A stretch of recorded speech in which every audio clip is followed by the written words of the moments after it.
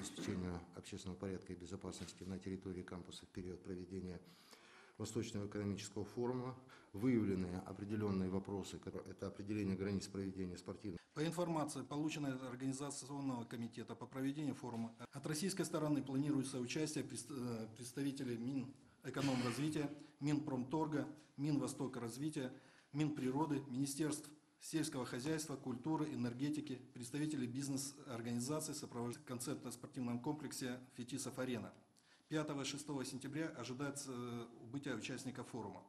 Для выполнения оперативно-служебных и на водном транспорте по ДФО 600 военнослужащих внутренних войск МВД России.